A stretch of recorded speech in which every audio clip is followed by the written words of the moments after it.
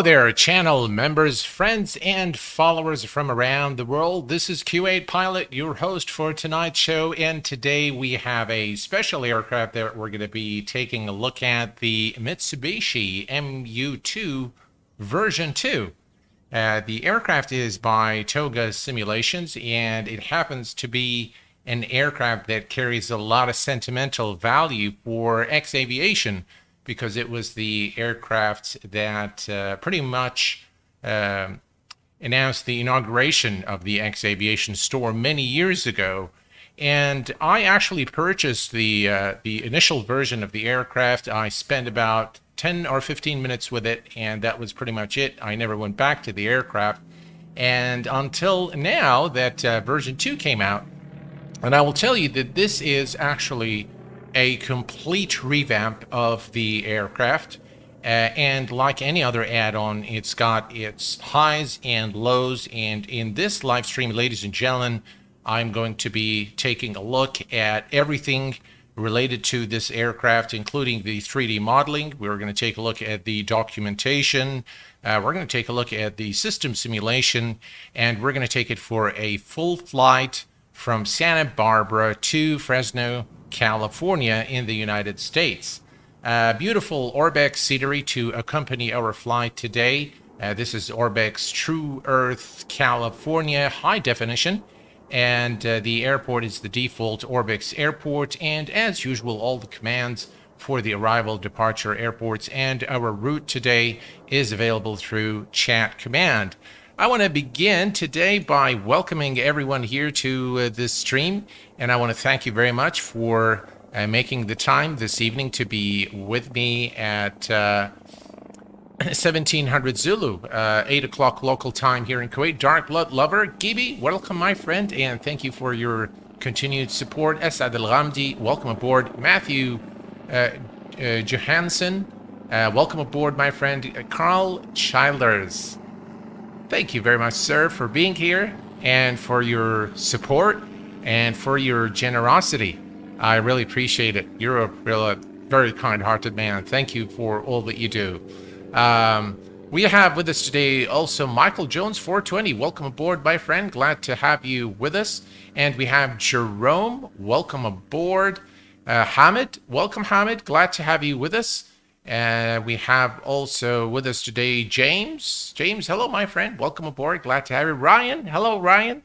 Uh, welcome aboard, my friend, and very glad to have you with us on board this uh, flight. And thank you for your continued support. Matthew, welcome aboard. Phil, uh, we have also Michael Allen. Welcome aboard. Pilot A340. Tom Kyler, welcome aboard. HD Simulations. Parking Brake, welcome aboard. And thank you for your support being a member of the channel. So, the first thing we're going to do is, as it is always the case with Q8 pilot reviews, is we're going to be taking a look at the 3D model. And to do this, we are going to hop to the outside of the aircraft. And as you can see, this aircraft is actually very nicely modeled. Uh, here, let's go. And let me slow this down a little bit here. And we're going to begin by just taking a look at the exterior model. And I have verified that this model actually is a very authentic replica of the real uh, Mitsubishi MU2. The aircraft was uh, built in the 60s and uh, it's actually its production remained until 1986 by Mooney in uh, the state of Texas uh, the uh, Mooney has gotten uh, rights uh, from the uh, from Mitsubishi in Japan to basically produce this aircraft in Texas, and uh, and then Mooney had some issues. Uh, I believe they were financial issues, and they had to shut down the operations in Texas. Mitsubishi then took over the production of the aircraft, and it remains to be until this day in service. The aircraft has had uh, somewhat of a uh, you know of a bad record in terms of safety, uh, especially in the U.S. Uh, 304 fatalities uh, from the Mitsubishi incidents involving the Mitsubishi MU2. Nonetheless, a very quick overview of what has changed in this version. Everything, everything has changed in this version, including the aircraft uh, 3D model, the texture work, uh, the simulation of aircraft systems. You'll be very happy to know momentarily that all the circuit breakers, for example, are now simulated in this aircraft, and the fuel system uh, has uh, been completely uh, rebuilt from the ground up to really simulate the actual Mitsubishi MU2 fueling system. Uh, there is a lot more than what meets the eye in this aircraft, and uh, I can tell you right off the bat that I was very impressed by the work done uh, by the developer, Toga Simulations, uh, previously X Scenery. Um, of course, there are. I do have my comments. I do have my. Uh, you know, there are definitely pros and cons, and hopefully, in this review stream, you guys will be able to decide. You know whether this is something you like to invest in or not. So this is, I think, uh, a quick overview of the aircraft fuselage. Now, the resolution of the textures is done to a very high standard. This is probably, um, you know, 2K textures. You can see as you come closer to the aircraft, we can see the jagged lines here. It doesn't really take away anything from the aircraft. Uh, I mean, why would you come this close to the model to look at, you know, the wings underneath? But um, being the detailed guy that I am, I like to look at these details and uh, nothing broken with the textures, but they're not the highest resolution. Let me uh, let me change this uh, increment here and make it medium. Camera is saved. All right, perfect. All right. But um, again, you know, it's not the 4K textures, uh, without a doubt. Uh, but nonetheless, beautifully textured uh, aircraft inside and out. By the way, it comes with a lot of variants uh, with support with the G500 device from X Aviation. Uh, overall, I do like the texturing. So the texturing is done to a very high standard. Uh, this aircraft will def definitely please your eyes wherever you look. you can see the nice details right there. there we go. Here, you can see that. You can see all the rivets and the bolts uh, on the aircraft fuselage uh, done quite nicely. Uh, the use of PBR material is just right, so it's not, you know, it's not exaggerated and it's not underdone. It's just right to give the aircraft a very realistic uh, reflection. Uh, if we look again here at the landing gear area, the landing gear is done quite nicely. Maybe the uh, the actual wheels are a bit too clean for my liking uh, especially being, uh, you know, you know, you can see here they're a bit too clean. Maybe a little bit of dirt on the tires would make it a little more immersive. Uh, but nonetheless, the 3D model is very nice. I do like. See, let me let me tell you what I like about this developer. You see these lines here and how they end and start. The meeting points where these lines cross is something I uh, appreciate a lot. Uh, I think it's done quite nicely uh, by Toga Simulations. And uh, if we move back here again to the back of the aircraft, uh, again, you can see some nice details there. Right here, the aircraft tail. Uh, nice use of shadows there to, again, create a realistic look of the aircraft. So I think enough said on the uh, on the exterior model. By the way, just uh, I think the wing is one of the better areas here on this aircraft. So it's got a very unique, uh, very unique wing, and it's it's it's a very unique aircraft because if we look here, the um, MU2 has actually five tanks. There are two delivery tanks here and here. The main tank is right here, and then you've got the uh, fuel in the tipped tanks here. And this is all actually simulated. So the movement of the fuel transfer from the tip to the main tank is actually pretty accurately done in this aircraft. So, um, and we're going to take a look at uh, all the instrument in just a minute. Let's hop into the 3D cockpit. And uh, it, as you can see here, if you've ever uh, uh, taken a look at uh, the MU2 cockpit, you will appreciate that this is a very authentic representation of the actual MU2 cockpit.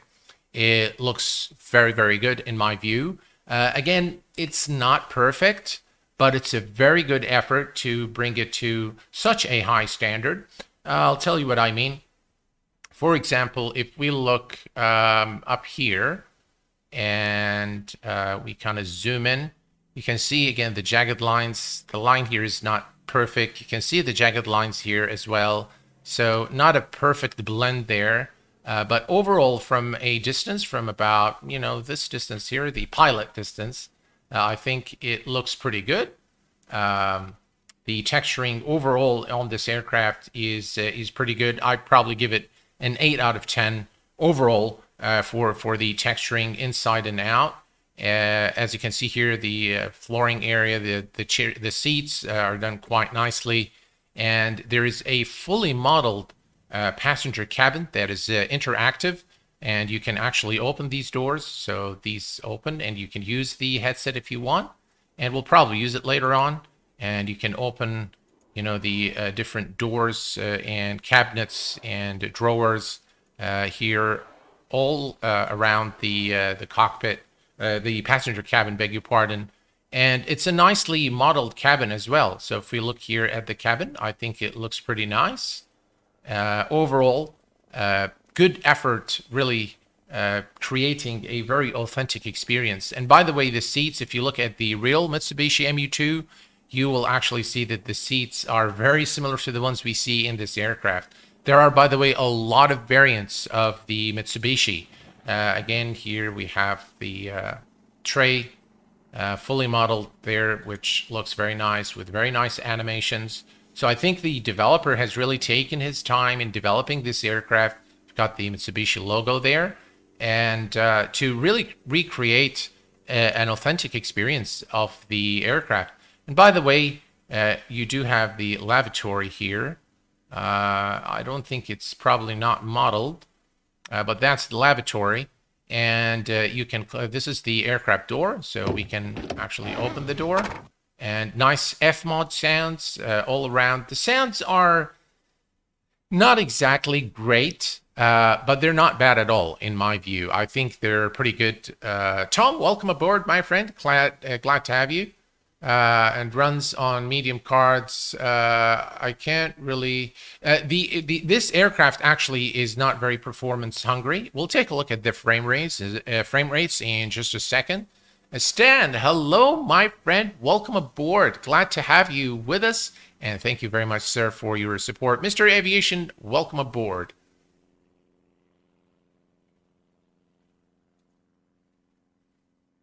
All right.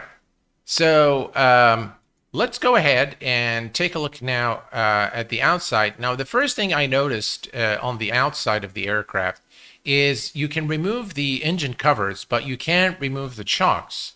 And that is a little strange uh, that you can't do that. Uh, so if I go here and I say remove the engine cover, I can remove it, but you can't remove the chocks. No matter what you do, you can't. So this needs to be accessed through the control panel, which we will do in just a second. But we can just simulate walking around to the back of the aircraft and entering uh, the aircraft through the aircraft door. Uh, so we're going to just hop into the aircraft and we're going to close the door. Again, nice F-mod sounds. Not perfect. Uh, they're not, uh, you know, very they are okay. They're okay. F-mod sounds are nice. Uh, and then we can uh, uh, actually close this door here. Very nice animations. I must say that I really like the animations. And this wooden door looks very, very nice. It looks pretty realistic in my view. Uh, he's done really a good job uh, developing this. Uh, you know, the the texturing overall is is done to a very high standard. I do like all the animations and uh, the aircraft overall look and feel is very authentic, very representative of the real MU2 uh, Mitsubishi. All right, back to the cockpit. Now, one of the things I kind of do not like about this aircraft is that the control panel is the Gizmo control panel, and this is true of all the aircraft sold through the X Aviation store for some reason. And to access it, you can either enable the Gizmo uh, menu that comes on the right side of the screen. I normally turn this off and I leave it uh, so that I can access it from the window here. It says the MU2 preferences. So it comes with this control panel. It's not a very involved control panel.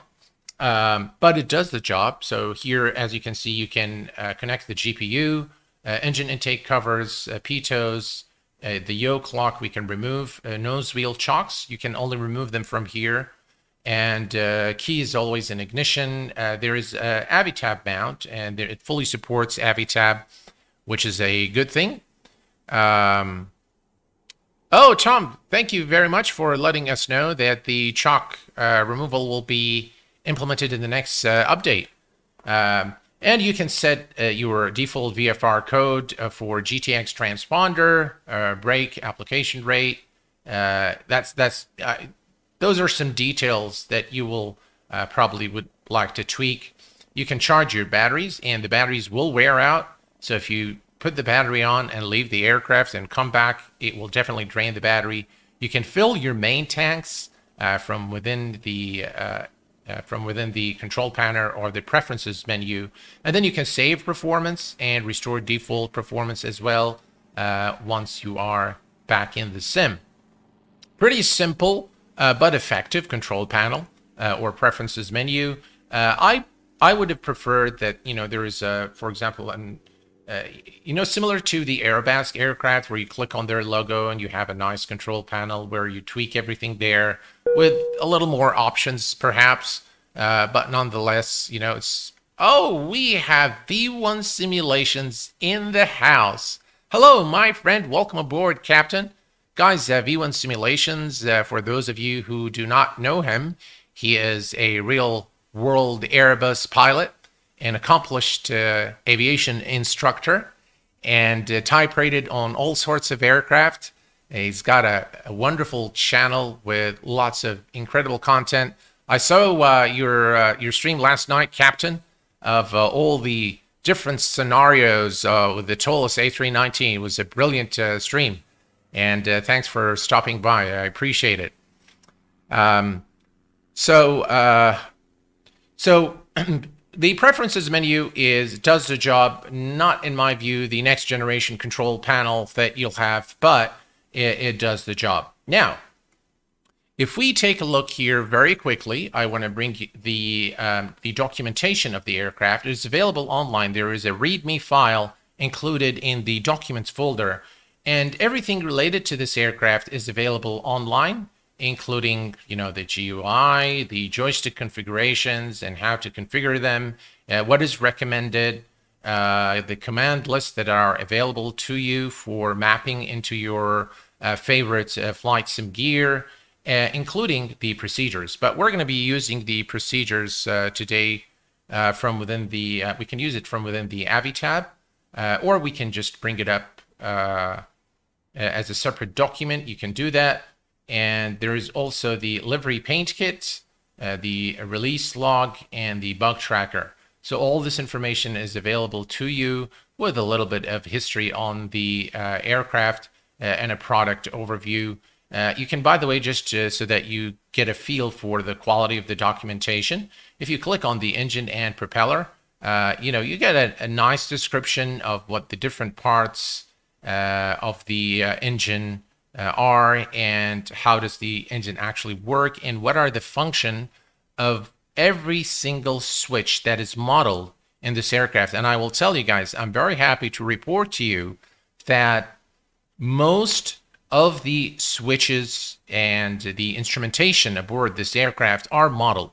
So there's very little uh, in terms of INOP. Everything is working, including, by the way, the um, let me just uh, bring you down here so you can just take a quick look at the documentation. Uh, I think there's some good explanation. I had to go through some of it in order to be able to assess the quality of the documentation and, of course, learn a little bit about the aircraft. Uh, but even the circuit breakers, all the circuit breakers are modeled aboard this aircraft.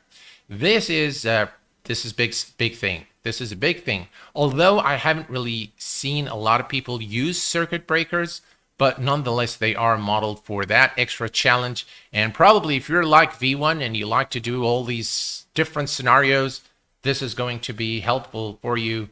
Uh, and uh, all of them, yeah, all, all the circuit breakers are, are, are modeled for full authentic experience and really customizing the uh, the aircraft flying experience to your liking. All right. So now that we have done all of this, we are ready. Let me tell you a little bit about our flight today. And uh, today we are going to, uh, let me bring up uh, SkyVector. Uh, so today, folks, what we're going to be doing is uh, we are going to be taking off from Santa Barbara uh, in California, in the southern part of the state. And we're going to be tracking the Foxtrot Lima Whiskey VOR station. And then we are, uh, by the way, we're flying VOR to VOR today. And then we're going to take the Alpha Vector Echo, then the uh, Lemoore. Uh, I don't know how many of you guys have been to Lemoore before. Nice little, uh, you know, town in, in California, just about 45 minutes from Fresno. And then it's the Hive VOR. And from the Hive VOR, we are going to intercept the localizer uh, runway uh, 1 1 left at uh, Fresno Yosemite International. The uh, uh, runway 11, uh, the localizer does not have a glide slope, so it's just a localizer. And this is what our flight plan looks like here. This is the uh, Avenal VOR station, and then up to Lemoore. This is Lemoore. From Lemoore, we're going to take the Hype VOR station, which is right here. And then from there, we're going to head uh, on a course of 121 degrees to intercept the localizer for runway 11 uh, left at uh, Fresno Yosemite. So, Dark Blood Lover, just love, yeah, yeah, uh, and we have also Whittle Bolt Productions. Welcome aboard, my friend. Abdelaziz Ramadan, welcome aboard, my friend, and thank you for being here this evening. And uh, looks like we have a new subscriber, Hobana Kierik, has just subscribed, is subscribed to the channel. Welcome aboard, my friend. And so this is going to be our flight today, and uh, I'm going to take this away now, and we are going to start with the checklist now. Okay, so to do this, we are going to bring the uh, bring Avitab, and we're going to go to charts. Uh, where did I leave it? We left it in the aircraft menu, and we're going to go down to X Aviation. And from X Aviation, we're going to go to the Mitsubishi documents. Uh, now you have both of these, the checklist Avitab PDF and the checklist PDF. Let's go to the, uh, there we go. All right. So the pre-flight checklist is, uh, let me see here. All right. That's, I think, uh, good. There it's too small, but too small. There we go. All right, so the pre-flight checklist, uh, gear handle is down, the control lock is removed, and the parking brake is now set. Nice sounds. Again, listen, check out the sounds. Uh, the uh, battery key switch is on, which is this one right here. Right, battery is on. Uh, left battery isolate switches both normal. These are the, let me remove those. Those are the battery isolations, isolation switches one and two. They are set to the normal position. And then the uh, left battery isolate switch to isolate. So this is for testing. And then you do this one and put them back on normal. Uh, right, uh, so this is done there. And then go next right battery isolate switch back to normal. Inverter switch is main. This is the inverter switch right here. So we turn that on. And then the pitch trim is set to zero.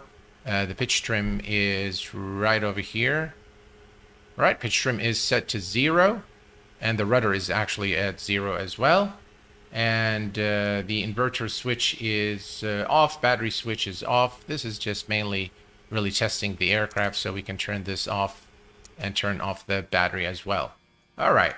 Left wing, now we can all skip all these checks and uh, we're, we're going to start with the before engine start checklist. Uh, battery isolation switches, uh, both on normal. Battery key switch is on. We've already done the walk around. The inverter switch to main, uh, which is done. The panel indicator lights. Now, this is where it gets interesting because all of these tests are actually simulated on this aircraft. And uh, this is something I do have a lot of appreciation for. So if we do the panel test, Here, let me just uh, take this here. All right, so there you go. You have all the lights illuminated as a check. Let's cancel the master caution. And uh, the fuel panel indicator, uh, the radio master switches obviously are off. The master caution system is checked. The uh, fire warning lights are right here. Uh, beg your pardon, right here. So the both lights working fine. And the stall warning test is right here. Checks are right. And the fuel quantity test switch. Now, the fuel quantity, if we go down here, I need to zoom so you guys can see. Um, so now, if I go to the fuel quantity test and I click here, just if you notice the fuel quantity gauges are now actually moving and you can see it for the tip, for the outer wing, and the main tanks. You can see the gauges now uh, indicating. And if I remove it, so everything checks okay. And this is the outer uh, pump test also checks OK. So we are through with uh, all the fuel tests. Both fuel transfer switches must be in the off position for the system to test effectively. We have done that. And now we can, now there are two ways we can start the engine. We can start the engines with feather valve and NTS check, or we can do it without the NTS check. So I'm going to skip and go to the engine start without the NTS check. All right, so this is the one here. All right. So now the first thing we need to do is main fuel valves uh, switch to open. Uh, those are, I really like the sounds of the switches, nice F-mod sounds. SRL switches, uh, SRL switches should be on, which both are. And the next thing is uh, engine instruments are checked. Generator switches for running the engine uh, should be for running in should for running engine should be on. Well, uh, sorry, this one here. Um, cabin air selector is off. The cabin air selectors are right here. So you have this one and this one, and they are both off at the moment. The uh, propellers on the locks. So this is all set. We are good there. And next we're going to go to the both the run crank stop switches to run. These are two switches here. So you lift it up and then move it like so. And then we can go to the start selector switch left or right, which is this one here. So we're going to start with the right uh, engine first. Again, you pull this out and move it to the right for the right engine. And now as you can see here on the engine start, uh, engine start switch, uh, press and hold. So now we are actually ready to start the engine. But before we do so, we are going to head uh, over to the overhead panel here. We're going to turn on fasten seatbelt, non-smoking, beacon, and nav lights. And now we can start the uh, engines. All right, so we're going to start with the right engine. And this is the first one here. And once you see the light illuminates, you release. And now we have a good start. Let me move this away here just for a second.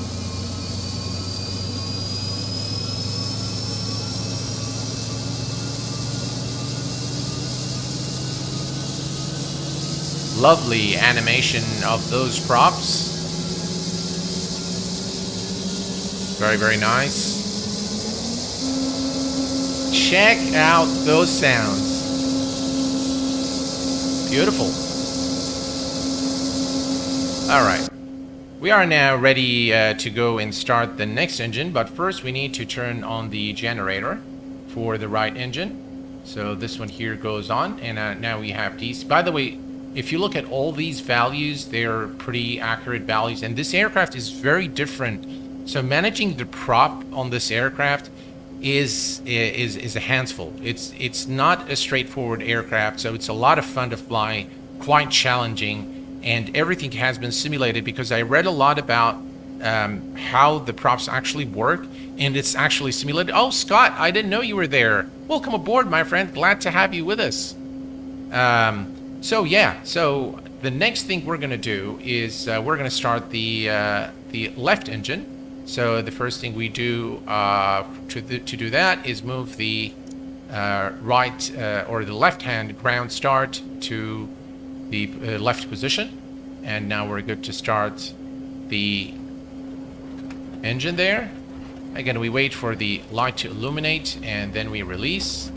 And now we have the second uh, engine starting. Here, let's take a look.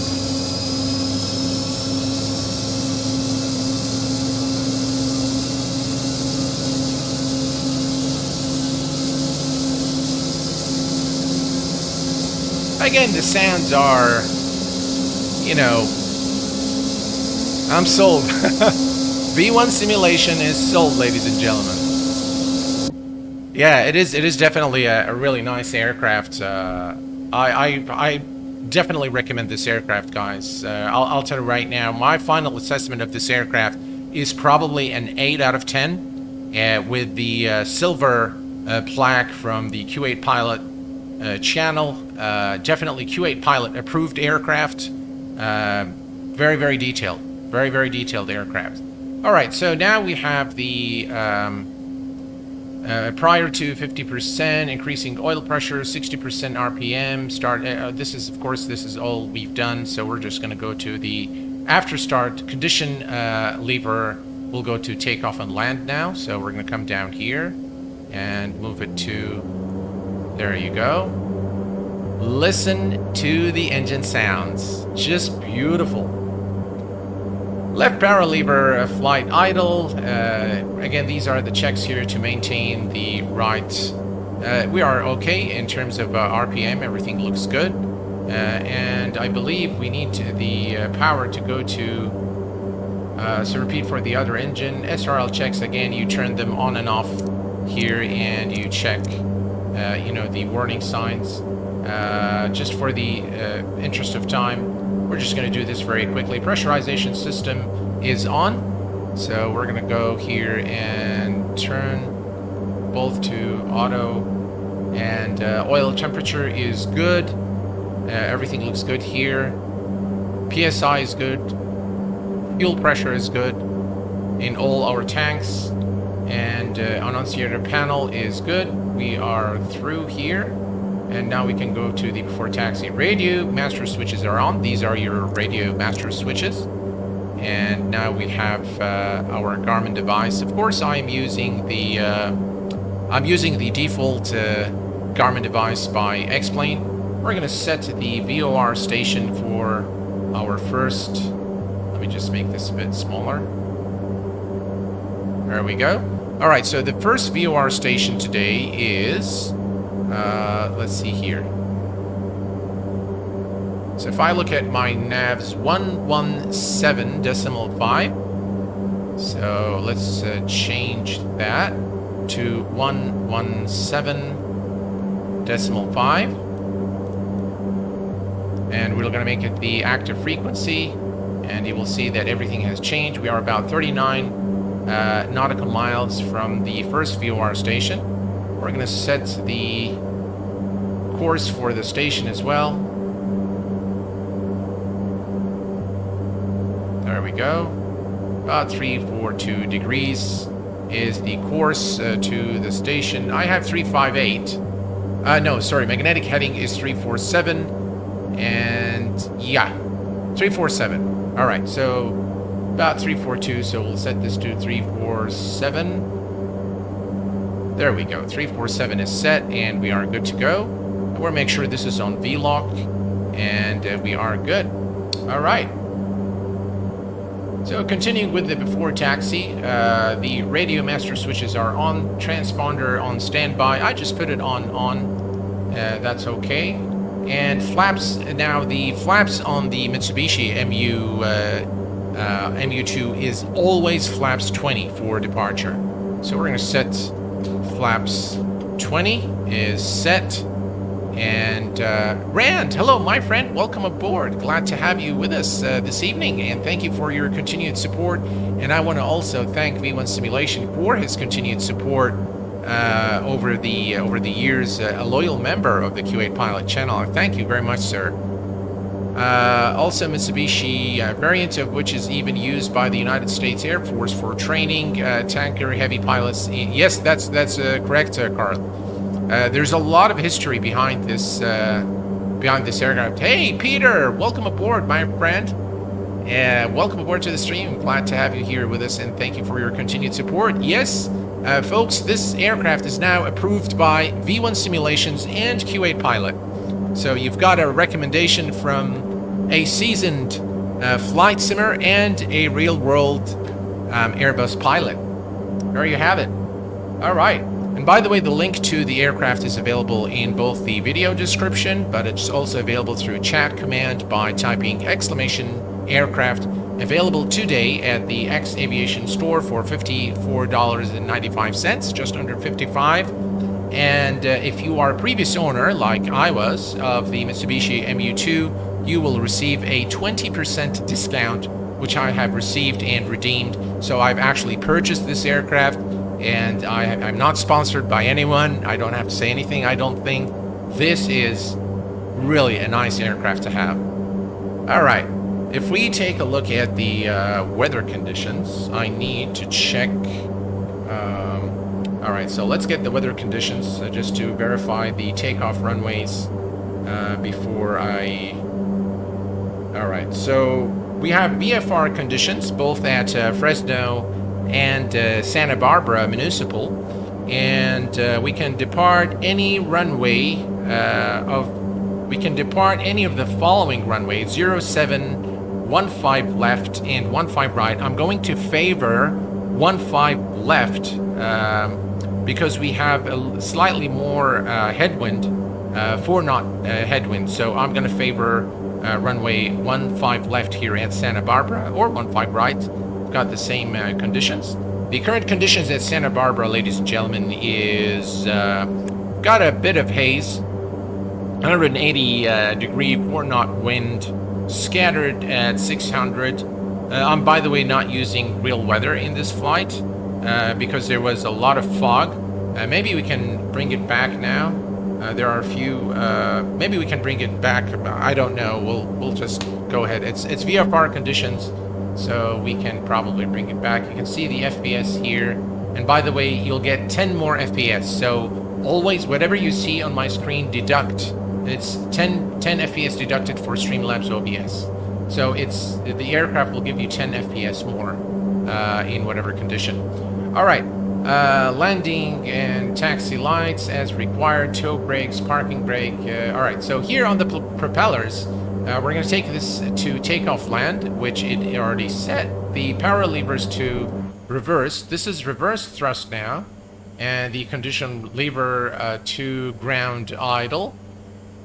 So this is now ground idle. All right, and before takeoff checklist, we'll worry about as soon as we are at the runway. All right, let me check the, uh, very quickly set the, the thing I wanted to set was the altimeter, and the altimeter is 3001 here at Santa Barbara. So let's set that real quick, 3001. 3001. There we go. 3001 is now set. And we are ready to go. Let's take a quick look at the outside. Guys, look at that. Just really a beautiful aircraft. Alright, perfect. Let's go ahead and release the uh, parking brake. Ah, let's set our altitude. Today we are going to be cruising at a final cruise altitude of 10,000 feet. So let's set that.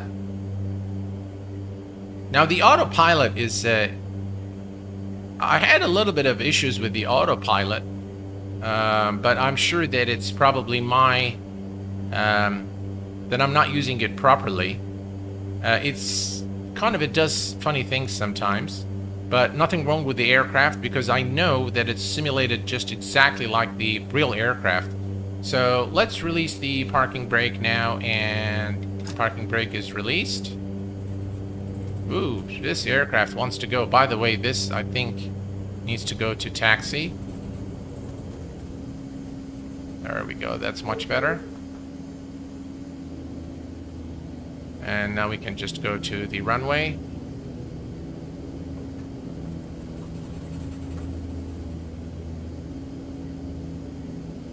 By the way, this uh, scenery is that of uh, uh, California True Earth, uh, Orbx True Earth, California. And it's a scenery I definitely recommend. By the way, the throttle on this aircraft, so now we're actually, you see when you go to reverse, this is ground idle, and uh, it's very touchy on the controls. So you have to really practice a little bit to be able to, it's very, very sensitive. Maybe you can add response curves, I don't know. But once once it's in reverse, it's in reverse, and, and it's really going to slow the aircraft down very quickly.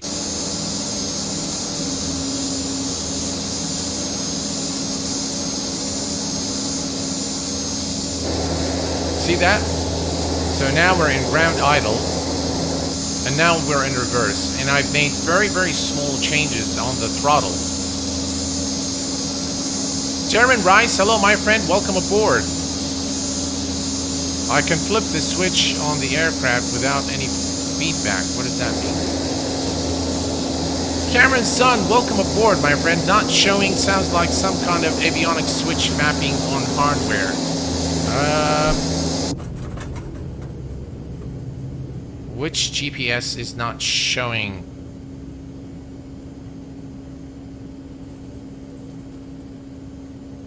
Toe brakes are also addressed in the forums. Uh, oh, great.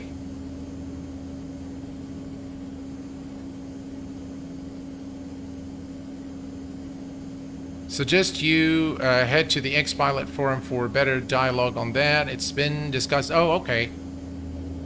All right.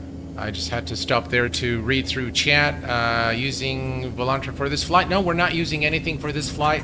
Uh, we're just doing VOR to VOR in this flight. There we go. Uh, where's our runway? That's our runway right there. This is 15 left. Good enough for our departure. All right. Now I'll tell you guys one thing. Um, the handling of this aircraft is just something else. Really, I really enjoyed hand flying this aircraft. I did a test flight um, earlier, and hand flying this aircraft is a real joy. I do want to turn off XP Realistic because it does some funny things on the G-Force. Where is it? Uh,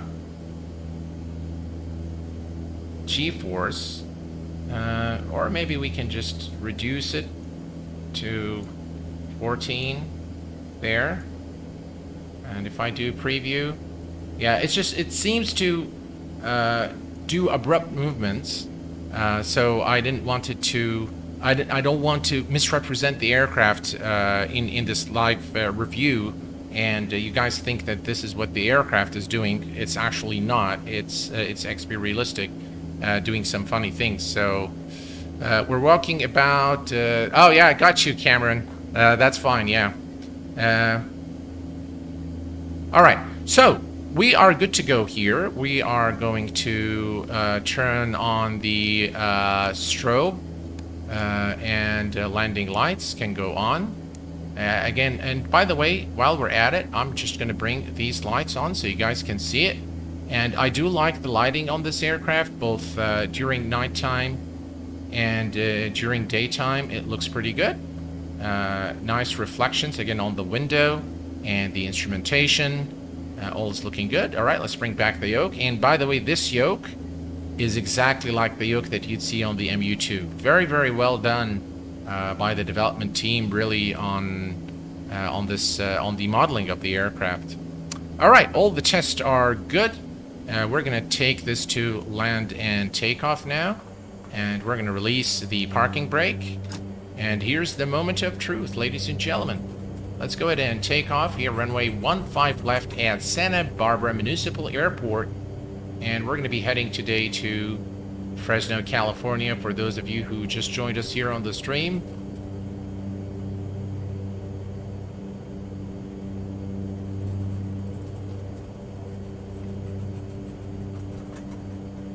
All right. And we are cleared for takeoff. Let's go.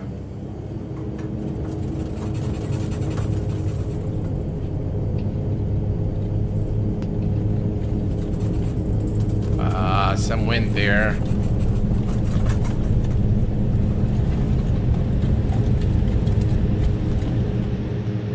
Right. And we are airborne, ladies and gentlemen. Landing gear is going up. Let's begin our turn to intercept the first VOR station.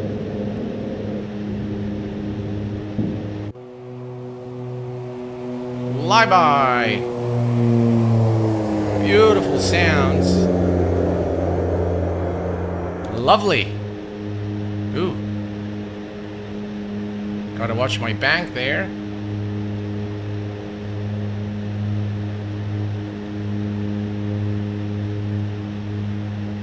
Beautiful. I love hand flying this aircraft.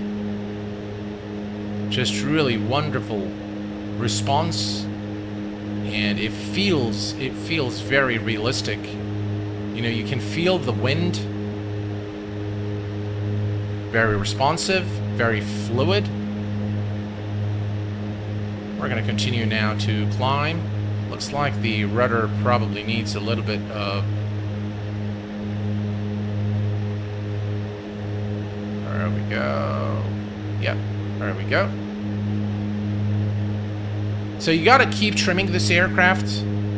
Uh, we're to start practicing our flaps. We are on an intercept path to the VOR station now.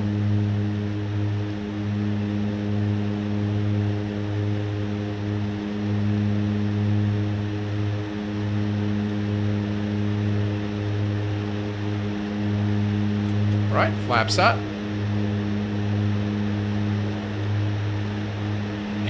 We are going to hit Alt Select.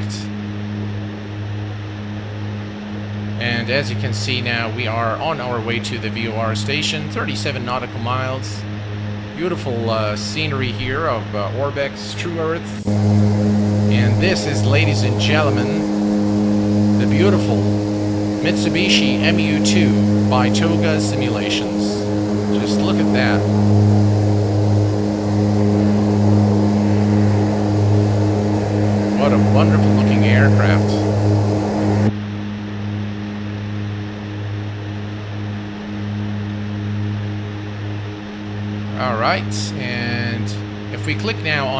See have cap, meaning capture. And now we can select autopilot. And now the autopilot and yaw damper are both engaged. And the aircraft is going to continue now the climb to 10,000 feet. And we are now on our way to the VOR station, which is uh, the first one is going to be the uh, Foxtrot Lima Whiskey uh, VOR station. Lovely. Just really a lovely aircraft.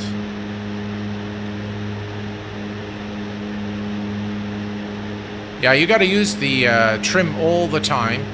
Uh, I would uh, I would have thought uh, we'd see a route flight plan uh, show in the GNS. Oh, I'm flying VOR to VOR, Stan. So I did not enter anything there. Um, so there's there's nothing there. There's uh, I can show you the flight plan here. maybe you missed it. I've shown. it was shown in the beginning of the stream through uh, the, uh, there we go. So that's our flight plan out of Santa Barbara. It's VOR to VOR. And once we are at the Hype uh, VOR station, we are going to turn to a uh, final approach course of 112 degrees to intercept the localizer runway 11 left at uh, Fresno Yosemite International. So I'm not using anything there in the in the Garmin device. We're just using it to uh, switch the frequencies, but that's about it. Right, so we are, uh, Alt Select, you will notice that the aircraft is uh, going to... Guys, just look at this scenery. Look at that. Yeah.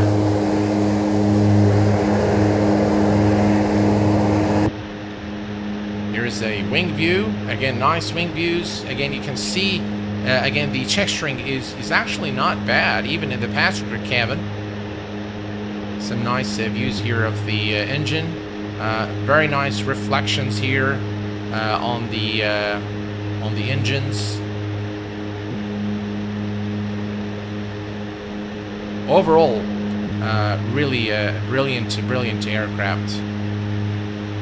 Right, we're coming up to 10,000. You can see that the Alt hold button is now on. And uh, the aircraft is now... This is uh, where we put our uh, props back to cruise. Let's see, let me just bring this here. Bring this to cruise. Now, one thing I did not see in the manual is the prop sync and I'm not sure if you need to have prop sync on or off uh, uh, for uh, for the. Uh, but you know, I I'm just gonna leave it on for now. Uh, maybe we need to turn it. Maybe it needs to be on for takeoff, uh, similar to most aircrafts where you do prop sync. You do a prop sync at takeoff and then you turn it off. Some you turn it on later. I I really don't know, but we're looking good. We're going to reduce power a little bit here.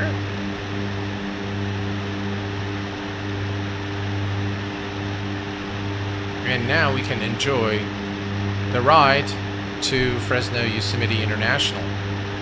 By the way, um, the Mitsubishi uh, itself, the Mitsubishi MU2 has, uh, most of the variants I've seen has this black panel uh, so this is uh, exactly what you'd see, and I really like those details. Look at that, guys. Look at this detail here, uh, right there, and right here. It gives it this just really old look, uh, like used. And by the way, the price of the varies a lot. The price of the real MU2 varies a lot.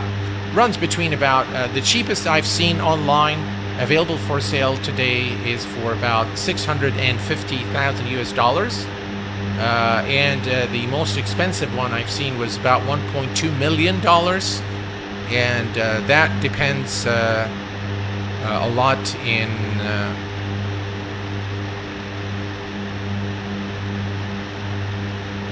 Uh, it depends on the features because the aircraft comes with a lot of variants and different equipments and different configurations. Uh, but yeah, uh, there is actually one available for sale today uh, for 650,000 US dollars. If you have 65, uh, 650 to spare, then yeah, by all means. all right, so the thing is, I, I'm really excited to see where the original MU2 was and where this MU2 is today there is a difference between day and night. And like I said in in the uh, the first MU2, um, uh, it, it, really, you know, it wasn't really an aircraft that I I think I spent about 10 minutes with it, and, and that was it. But this one is is an aircraft that I plan on flying quite a bit, and I plan on streaming it quite a bit. And I'm very interested actually to learn more about the aircraft systems, how the systems are simulated, uh, there's a question here. It says, uh, what yoke joystick do you use? I have been out of swing for like 10 years. Well, uh, when I'm flying general aviation aircraft, I normally use the Alpha Flight Control yoke, which I think is the best for general aviation. I do have the Thrustmaster TCA for Airbus, and I also use the uh, Yoko uh, by uh, Virtual Fly for all my airliners flights, uh, with the exception of Airbus, where I use the TCA uh, Thrustmaster Airbus um, flight stick.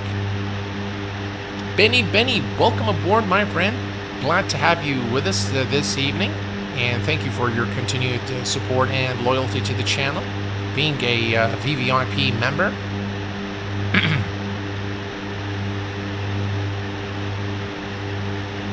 Should be off for landings uh, as it can affect response. That is very true. It should be off for landings. That is one thing I am very certain of. And uh, yeah, everything is now uh, working per design intent. And everything is looking pretty good. And everything works exactly as advertised. And this is really, really cool. Now, the uh, one thing that I will um, point your attention to, folks, is there are a lot of variants of this aircraft. Maybe we'll do it after we land. Um, so there are about four variants that ships with this aircraft and with the different uh, modeling. I, I would personally prefer that I can toggle between you know the different GPS uh, devices or the navigational devices from within the control panel. Um, but you know it, it's not really a big deal. Uh, but it would be much easier than you know having to load the aircraft. I do not own the um, X500 uh, device uh, that is available uh, at the X Aviation store. But I've seen a couple of streams. I think John Fly streamed this aircraft a few days ago, and he has it, and it's actually pretty nice. Uh, so I, you know, if if you're if you're an advanced uh, user, and maybe if you're a real-world pilot and you really want to experience uh, in a real-world device uh, aboard this aircraft, then I definitely recommend that you grab the X500 uh, device uh, available at the X Aviation store, which works perfectly with this uh, aircraft. So, all is looking good. Matthew, take care, my friend. Glad you were with us for as long as you did, and uh, hope to see you next time. Stay safe, my friend. All right, let's take a look at the outside real quick. Just look at this aircraft See how the beacon light is? I mean, it, it really does look as if it's a rotating beacon. Uh, unlike, you know, Microsoft Flight Simulator, where, the, the, Microsoft Flight Simulator, the beacon light looks very funny, uh, but this one here looks very, very nice indeed. The modeling of the uh, aircraft exterior is outstanding. Very, very nice indeed. Very authentic. I've spent a lot of time today uh, looking at pictures and videos of the aircraft. I watched a few landings and takeoffs. Bill, hello, my friend. Welcome aboard. Back home to Fresno State. Absolutely. Go Bulldogs. Absolutely. And, uh, yeah, I've, I've interrogated a lot of videos and photos of the of this aircraft. Just look at that. It's got a really mean look to it. Love it. I just love the look of this aircraft. And I think what makes it very unique and you know what makes it look very unique are those uh, tip uh, fuel tanks here uh, on the side uh, of the aircraft.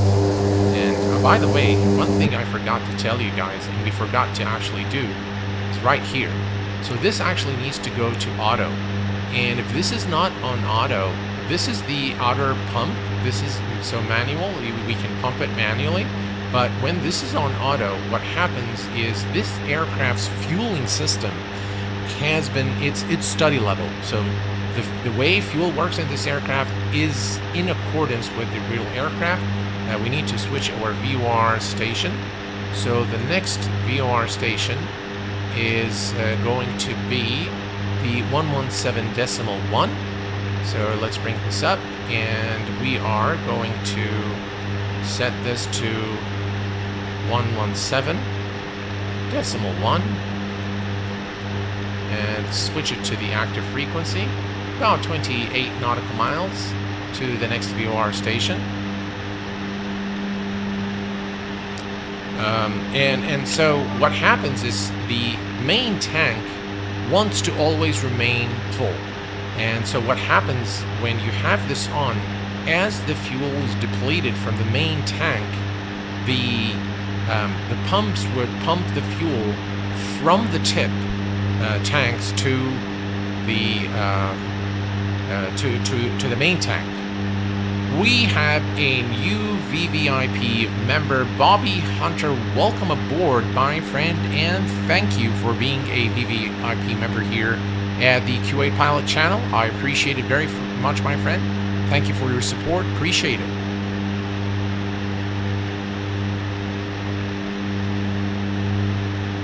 It's very kind of you. All right. Uh, let me just bring this up here. All right.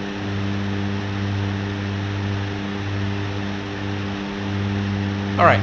So we continue now to uh, the next VOR station. We are approximately 24 nautical miles, and uh, we're looking good. Let's do a flyby real quick.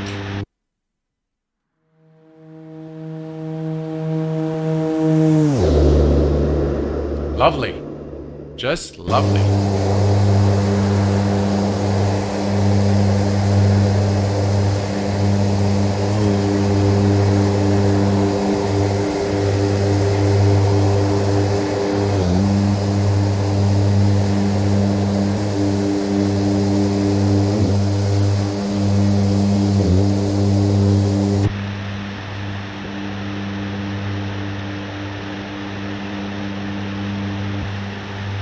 The way, we can come up here and turn off the landing lights and we can release the passengers. There we go. All is looking good. The aircraft's autopilot works as advertised. What I've noticed is vertical speed for some reason did not work properly for me. So I struggled a little bit with, uh, uh, you know, with uh, with descending uh, in an earlier test flight. By the way, this abrupt movement that you see is from XP Realistic.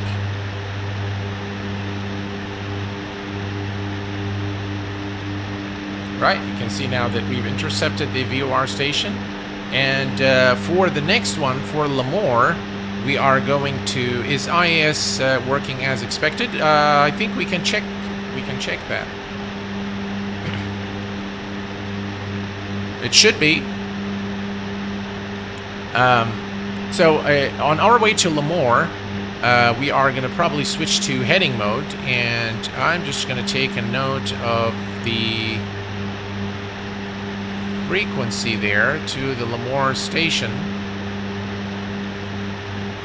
Alright, so the Lemoore station, the Lemoore, uh, that's Lemoore Airport actually, is on a heading of 346 degrees. 346 degrees.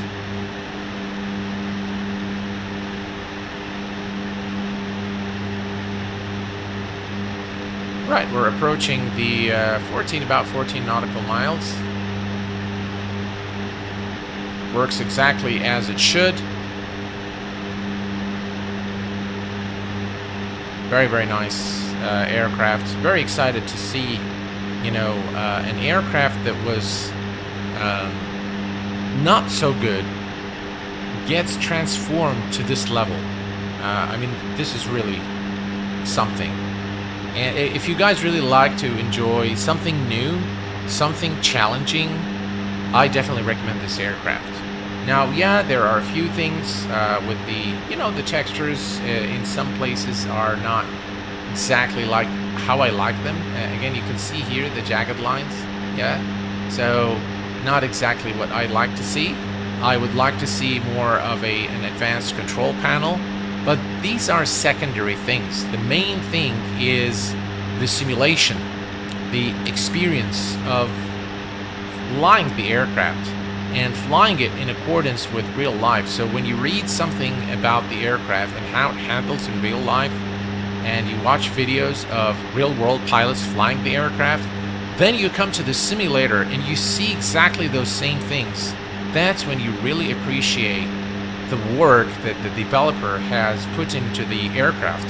And uh, especially on, on the throttle system here, this is probably the throttle and the props is probably one of the most complex things uh, aboard this aircraft and I'm sure that simulating this in X-Plane has not been an easy undertaking. Uh, so yeah, definitely thumbs up for the developer uh, on developing this uh, this aircraft. We have got uh, Matthias, thank you very much for your super chat. Hi, new to the stream. Is this add-on worth it? Thanks. Hi, new to the stream.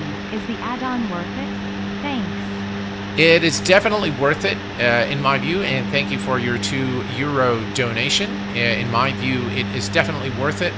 Um, an 8 out of 10.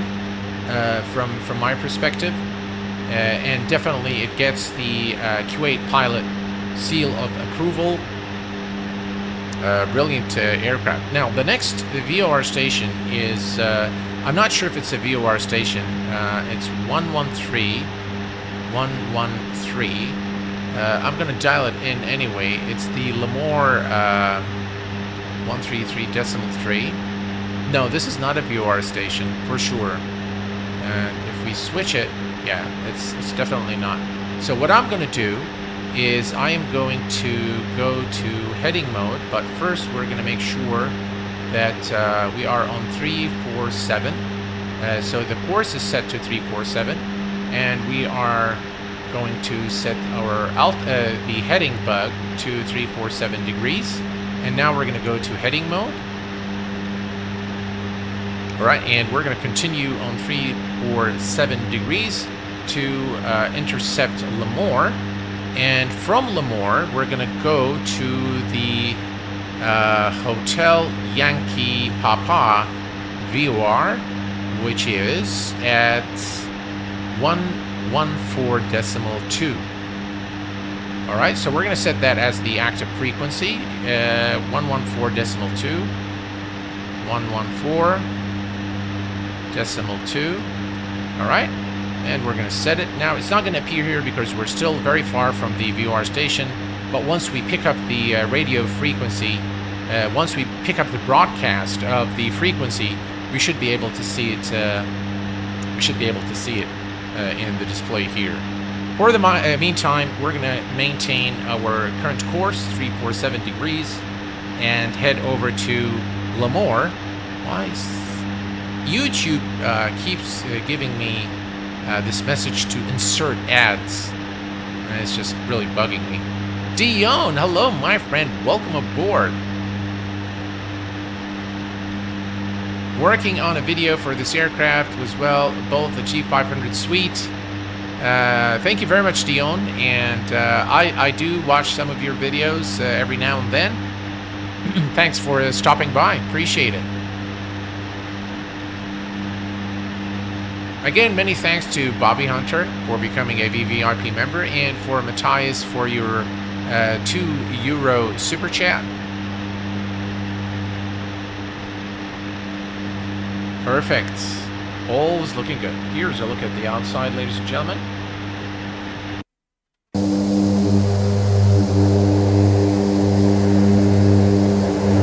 Just look at that. Beautiful.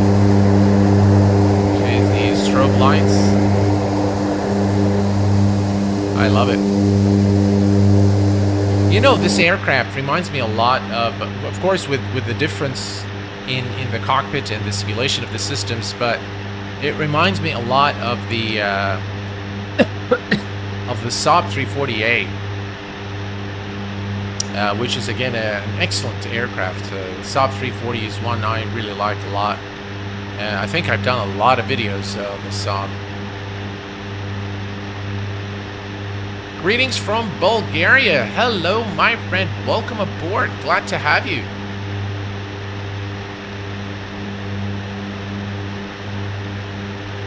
No simulated pilots. Uh, I'm not sure if there is a... Know, we can go to the uh, control panel here, the Gizmo control panel. Uh, preferences. Show Avitab, show control position, show 3D pilot. Yeah, you've got him. So let's do that. Uh, we're going to save preference. And if we go to the external view, now we have a pilot there. Yeah, with, with the glasses too. Similar to mine. So you do have a uh, pilot there simulated for sure.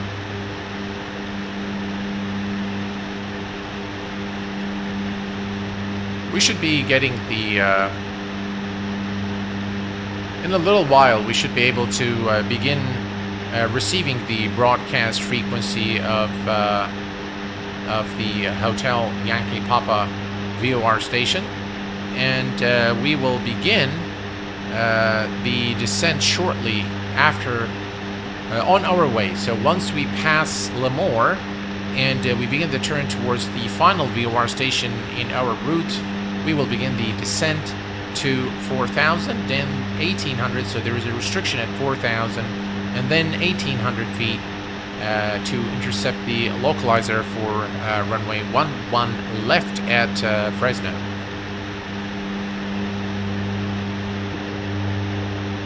Here's again a very nice swing.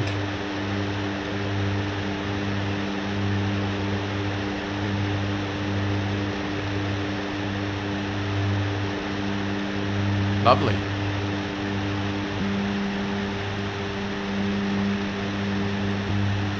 Again, I think this aircraft, if, if it receives just a little bit uh, landing lights out on the nose, the landing lights are out. Uh, oh, there we go. They are out now.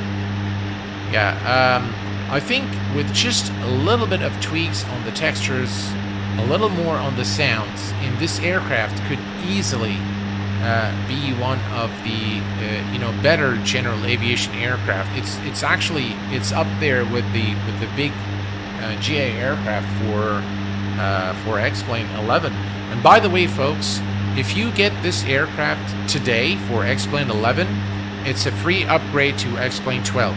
So the developer has made it very clear, Toga Simulations, that there will be no extra charge to upgrade to X-Plane 12 which is very, very important. I'm so jealous of your frame rate. Oh, what is my frame rate? I think we were getting, I always, of course, get, uh, this is, by the way, Avitab. We can bring it here. 72, about 62. So normally I get more, but because I'm streaming, uh, so I get a little less. So about 5 to 10 frames is the loss. Uh, now you can see we have the uh, VOR station. So what I'm going to do is go to nav and we are going to do that. Now the aircraft will, as you can see, nav, the uh, VOR station's been captured. Uh, I normally get more. I normally get about in the 80s range uh, in Fresno, in the uh, California region. But simply because I'm streaming, it actually takes a little more from the FPS but yeah, the actually, I'll, I'll tell you guys, this aircraft is very easy on performance. Uh, so it's it's very very easy on performance. Not it's not bad at all.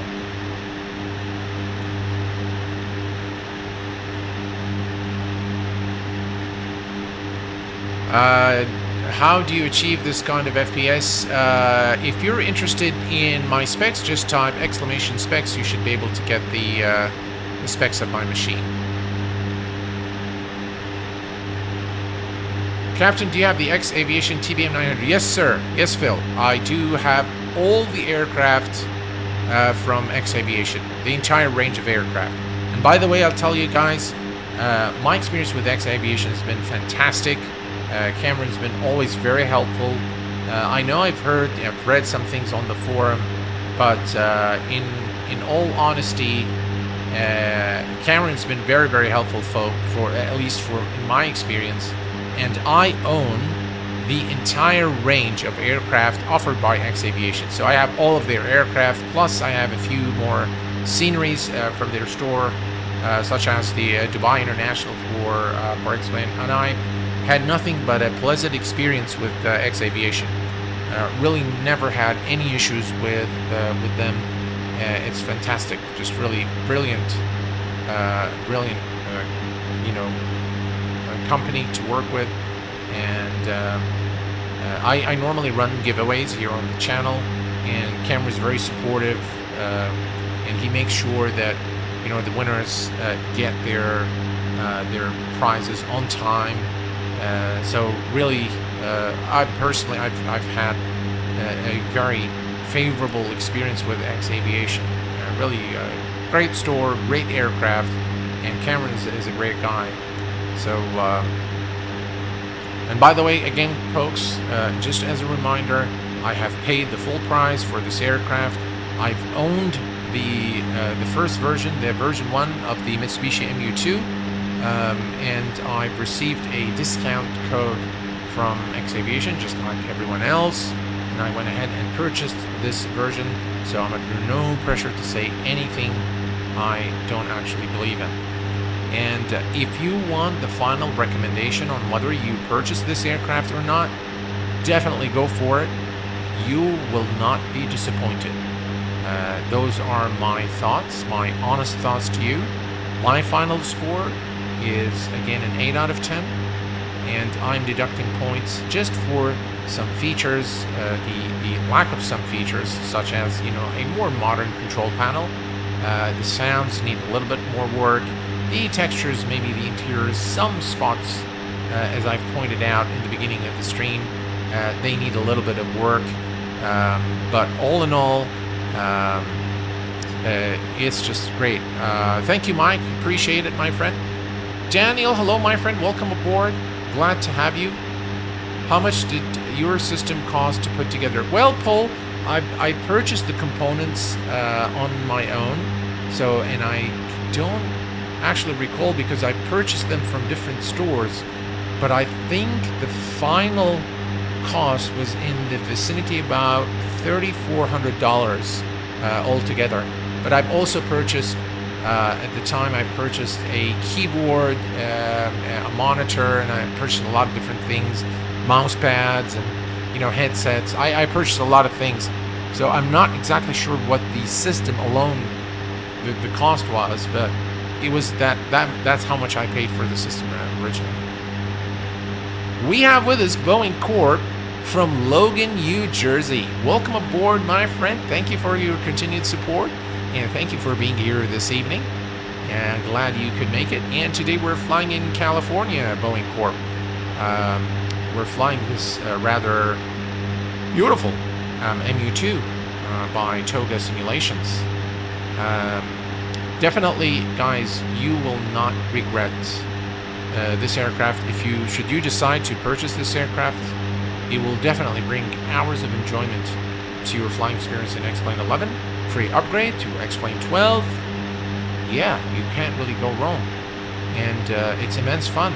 And there's a lot to learn, by the way, uh, on this aircraft. And it, it's not the regular aircraft that you fly, so you really have to, you know, fly it several times. You have to read the manual in order to um, it is a very loud aircraft for sure. Um, and it goes, yeah. Um, so uh, it, it's you, you, can't really go wrong. You can't really go wrong with it. It's got everything. Uh, oh, and ladies and gentlemen, he just did it again. Carl Childers just gifted 20 Q8 pilot membership. Oh man, I don't know what to say other than I salute your kindness, Carl. Thank you so much, my friend. I really appreciate it very much. You're very kind. That's very, very kind of you. Thank you so much.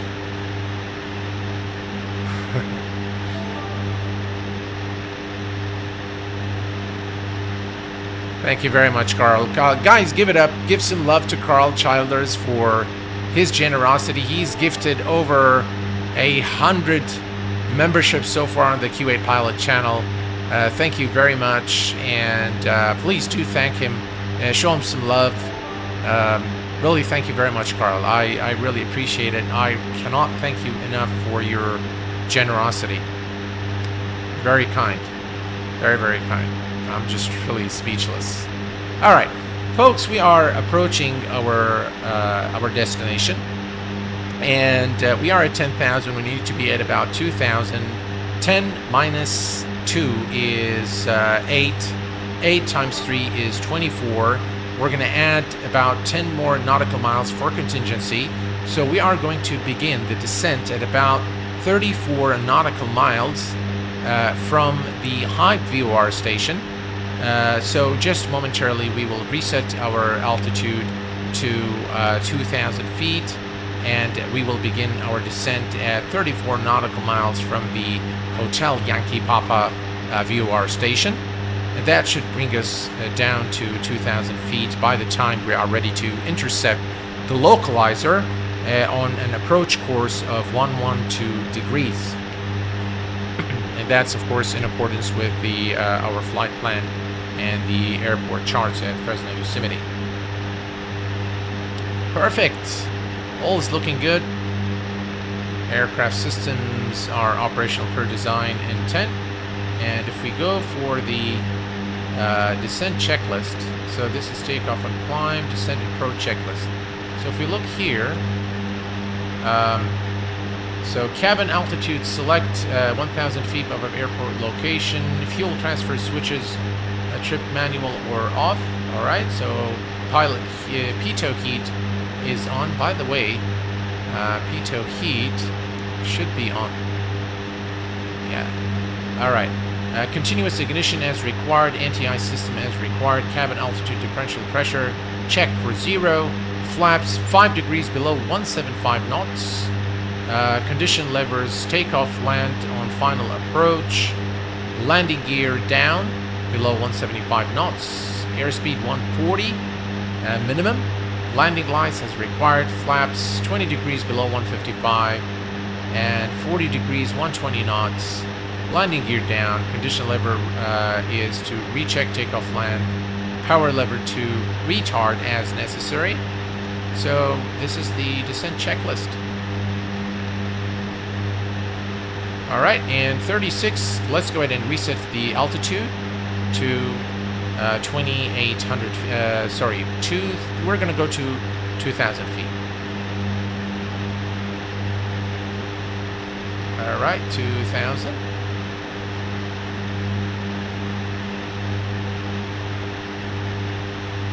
All right, 2,000 feet is now set. And uh, what I'm going to do is we are going to also check the uh, weather information at uh, Fresno. so according to... Alright, so weather information is variable 3 knots, uh, wind, uh, clouds, a few at 10,000 AGL. Of course, we're not flying in real weather, but I'm just going to read the weather out loud to you guys. Uh, QNH 29906.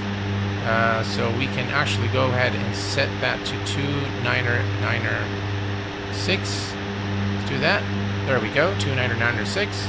And we should begin our descent now uh, towards uh, Fresno, California. So we're going to go and select Alt Select. And now we, if we go to vertical speed and put the nose down, for some reason it doesn't do anything and I'm not sure why. Uh, so if I go to IAS and I reduce the speed, then you can see that the aircraft begins the descent.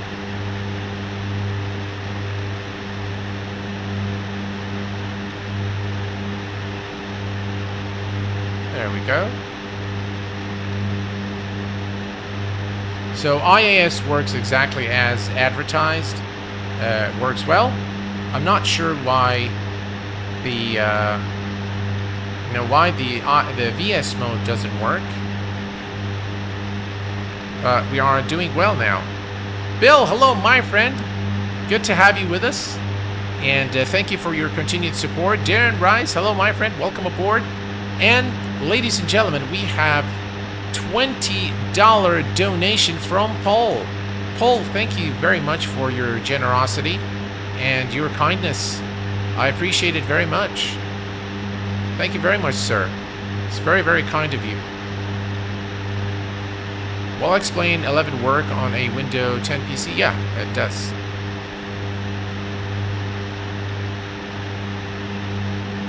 Paul, thank you very much again. Very, very kind of you. Niels, hello, my friend. Welcome aboard. Thank you for your continued support being a uh, VVIP member here at the channel. Appreciate it, my friend.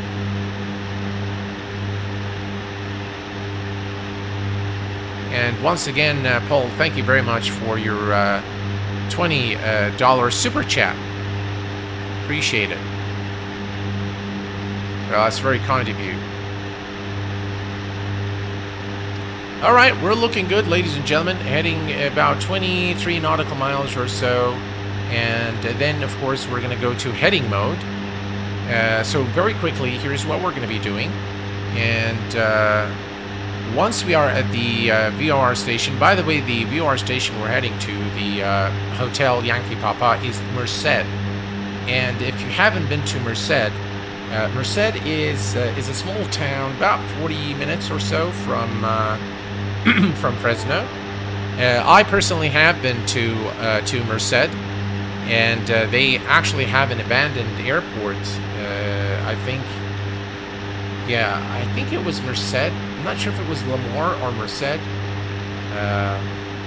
we had some fun one day there at the airport. All right. So we continue our descent. Uh, we continue towards uh, the VOR station, about 19 nautical miles to our uh, altitude. And once we are at uh, approximately 4,000, we'll begin our turn uh, towards uh, Fresno, California. John Games, the X Aviation modules are excellent, but their customer service for the rest of us is brutal, often insulting. Really, I really never, uh, I really never had any such experience uh, with X Aviation. So there's the speed for IAS is not set here. I don't think it is set. It, I don't think there is a knob to set it. Uh, so you just manage it with the throttle, and uh, you just go to the when once you are at the desired speed. If you engage IAS, it would hold the speed exactly where you left it, and of course to maintain the speed with the throttle being retarded, uh, the aircraft needs to compensate, so it will descend in order to accelerate to the speed registered in the IS system. We have L select selected, and we are now from 7,000 for 2,000. We have about 13 nautical miles. I'm going to ease off on the throttle up. That's the uh, landing gear horn. So uh, we should now descend a little faster. We're heading over to the VOR station now. and once we are at Merced, folks, we are going to switch to heading mode so what I'm going to do is we're going to set... Oops, that's not what I wanted to do. Sorry about that. It should correct itself. Uh, we need to go to the heading mode. There we go. Alright, so the heading need to be at 112 degrees. Is it 112 or 120? It is 112. about right here. 10 nautical miles. We are at 6,000 for 2,000.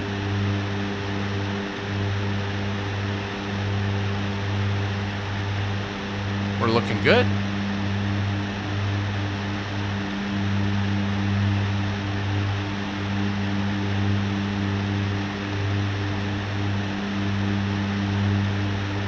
Now for landing, uh, we need to move the props back to take off on land. We're currently in minimum cruise.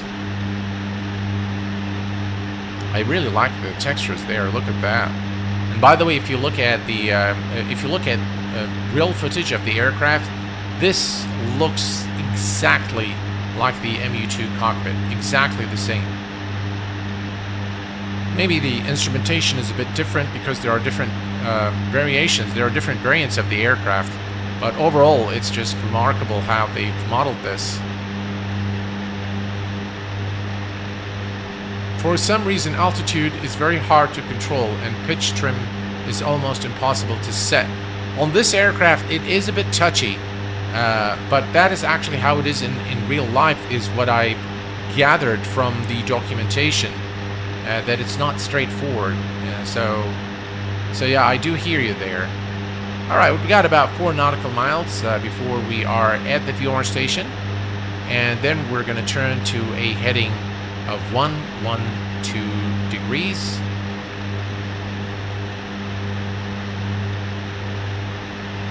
to intercept the localizer. Looking good. RPM is good. Oil pressure is good. Fuel flow is good. Uh, torque and everything else is in the green. All right. I think we are close enough. We're going to begin our turn now. So what I'm going to do is I'm going to switch to heading mode. And we're going to let the aircraft now go to a... Uh, let's see here. Oops. Uh, one, one, two.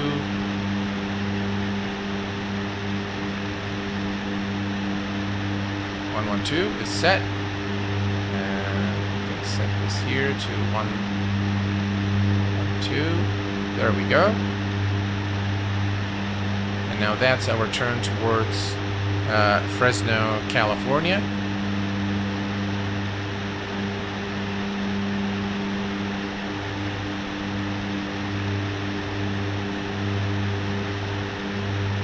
Back to the airport. And now what we can do is we can dial in the ILS frequency, uh, which is 111 decimal 3. So we're going to come back here and we're going to select 111. Uh, oops, there we go. 111 decimal 3 and activate it. And now we have the distance to uh, to the airport about 37 uh, nautical miles.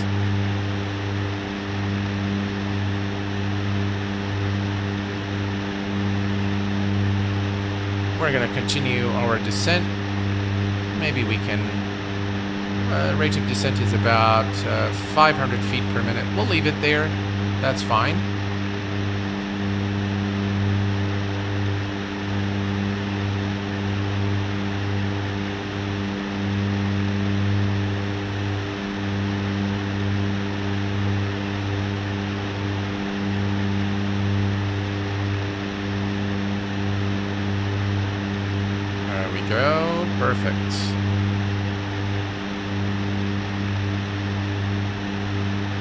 Doing good. Our speed is good. Everything looks good. And uh, heading select is on. Everything is good here. Now, I'd like to... The thing is, there will be no glide slope as uh, this uh, nice, uh, very nice uh, Orbx uh, scenery one. One. Uh, beautiful, really. The scenery is awesome. Said no MSFS 2020 pilot ever. Manny, how are you doing, my friend? Welcome aboard. Mr. Don, welcome aboard, my friend.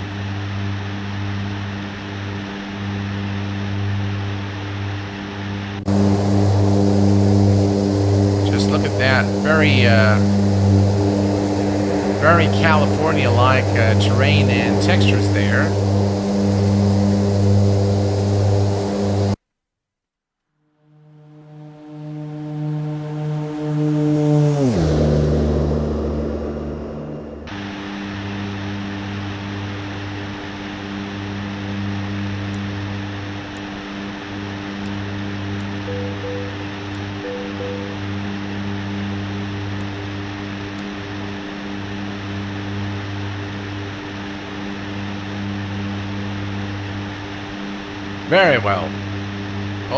Looking good.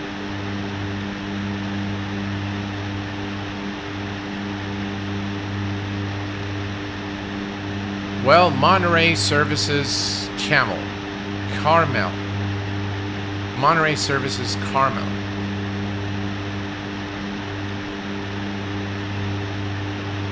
Definitely, uh, Carl, we have all three sims to enjoy.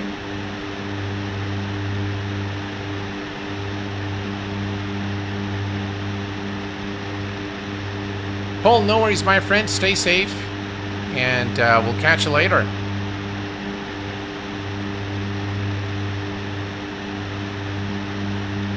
Uh, definitely, uh, Manny, a, a brilliant aircraft. And Carl, I want to thank you again for your really generous donations uh, and gifting all these memberships uh, here on the channel. I really am very grateful for your kindness, sir.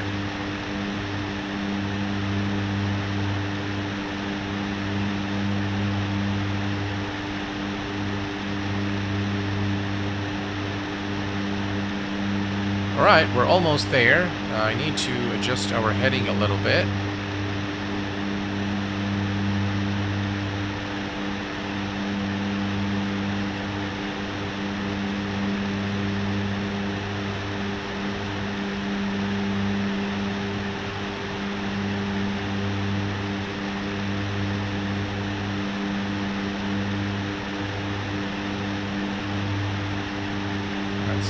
I'm just going to adjust our heading a little bit. As uh, we have drifted a little bit off course. Alright, now we can see the uh, localizer. We've captured the localizer, so if we go to approach, says arm. And then we should be able to capture it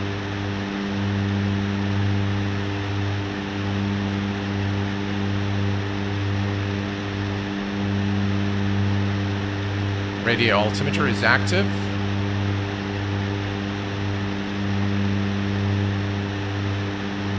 Now we can turn back.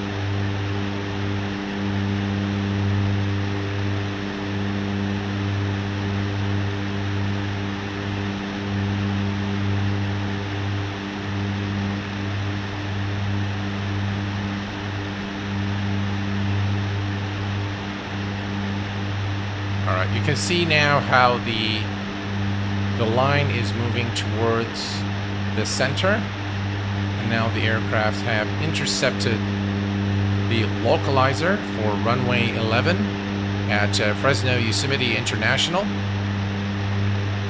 Superman Animation Studios. This looks complicated, but actually it's pretty simple once you get, uh, you know, once once you get the hang of it. It's actually not very complex.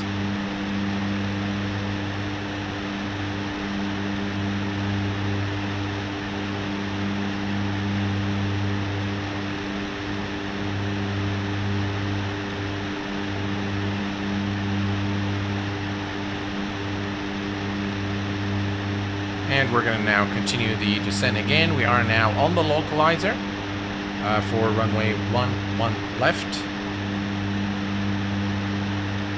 And we need to be at uh, 1800 feet in a few nautical miles which we are okay. I mean we're not too uh, let me adjust this to 1800 there we go. 1800 set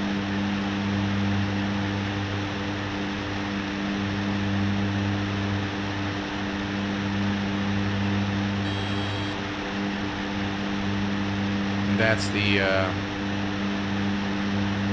the landing uh, landing gear horn.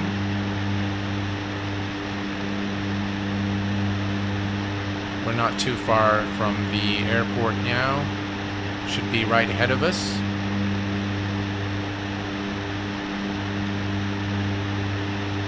Alright, at this point we are going to move the throttles, uh, the props, beg your pardon, to uh, takeoff land.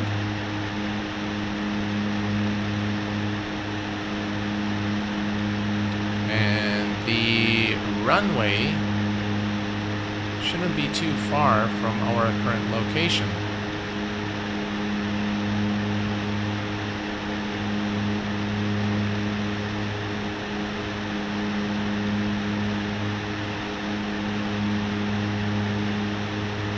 And uh, yeah, we're looking good.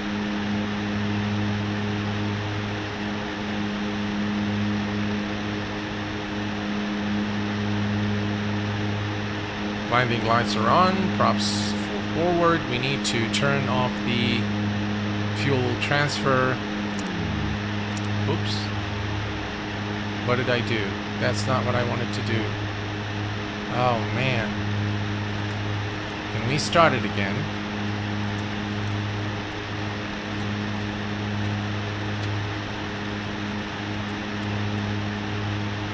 Come on. Uh, I guess we're going to land with one engine. Which is going to be really interesting. Alright, let's do that. We're going to land with one engine. No worries at all.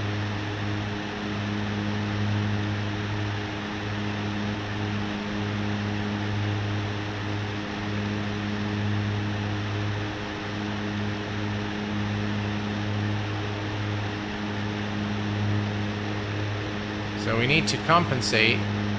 The runway is right ahead of us now. it's a good simulation of probably an engine lost, and it's going to be uh, quite challenging to land with one engine because um,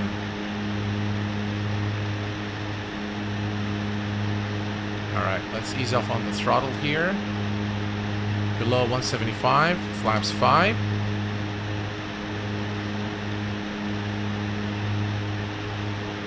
Let's go ahead and lower the landing gear. Runway is in sight. We've lost the left engine. Flaps 20. Gear is down, three greens.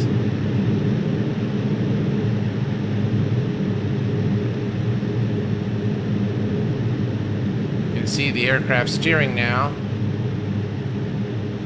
So what I'm going to do is we are going to turn off the autopilot. Where is the autopilot? There we go. Right, autopilot off. And let's see here. Alright, that's much better. We're obviously off the glide slope.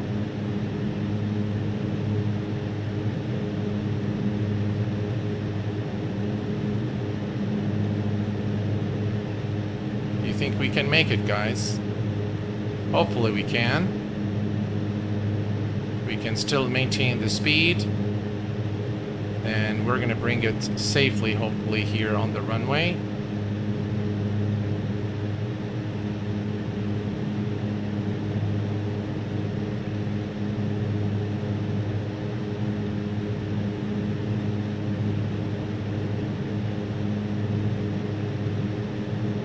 I do have the rudder to help me compensate for the lost engine.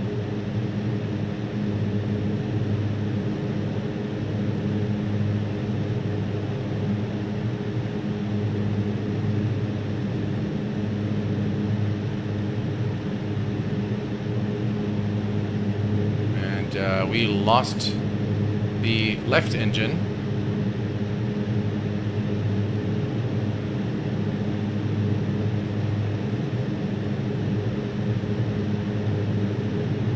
But nonetheless, we're gonna try to. Whoa, whoa, whoa, whoa, whoa, whoa. No, no, no, no, no, no. Please, no, no, no, no, no, no. Oh, come on. Come on. Oh, gosh. Yeah, that was an unfortunate uh, turn of events uh, as we came into land. I think I uh, I went to beta.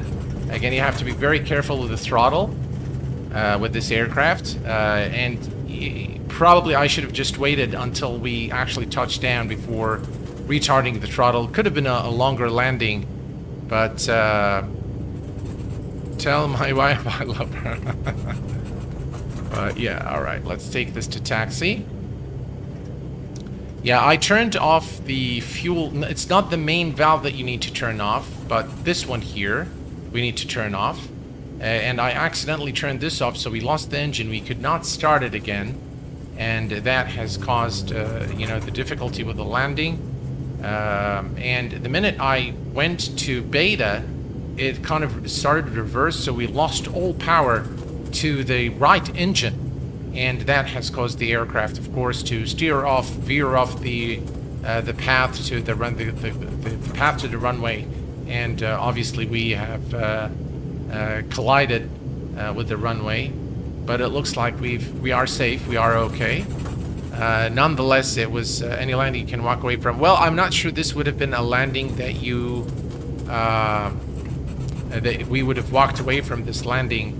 But uh, again, it goes to show that this aircraft is not your typical aircraft that you fly, and it does require some learning. I'm by no means expert in flying the aircraft, but I will tell you guys, this is one aircraft that I highly recommend for X-Plane 11, and it's a free upgrade to X-Plane 12. There's a lot simulated, there's a lot of work that has gone into uh, simulating the aircraft system, the fuel system, the uh, the air conditioning system, the bleeds, uh, everything has been uh, the, the throttle. Obviously, the throttle and the props, feathering the, uh, the, the engine, unfeathering the engine, all of that is uh, really done uh, with a lot of finesse.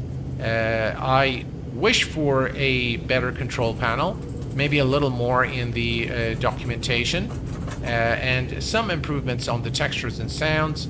And this aircraft would probably receive the full marks but as we stand today, it receives definitely the Q8 Pilot Seal of Approval, a final score of 8 out of 10, and the silver plaque. Uh, definitely an aircraft that I would recommend uh, for X-Plane. And we're going to take a look at the landing in just a second here. Uh, we're going to bring the aircraft to a stop somewhere on... I thought the terminal was here.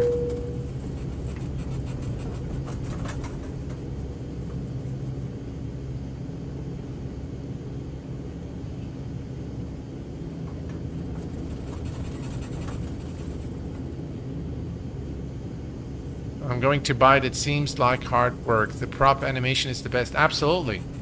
Uh, you, I, I will tell you guys, this aircraft you will not regret purchasing. Uh, it, I think the investment, if you, of course, if you have the aircraft, it's going to cost. Uh, if if you have version one, it's going to cost you about thirty dollars. Uh, but if you don't have it, it's going to cost you fifty-four. And I will tell you that it's well worth the money. Uh, definitely. I, I don't think it's overpriced or anything like that. I think the price is just right for the amount of work and the simulation of systems. Uh, I think it's just spot on, uh, really. Uh, very, very nice uh, aircraft. Alright, we're just going to find a spot here somewhere and then we'll take a look. Uh, this plane has lots of power. It definitely does. But the thing is, Carl, with this aircraft, bring the aircraft to a stop if you have it on, on reverse. You don't even need the brakes.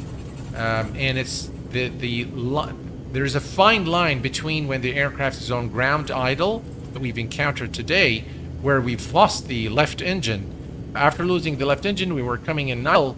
I actually reduced power and we went the mil military apron at uh, Fresno Yosemite.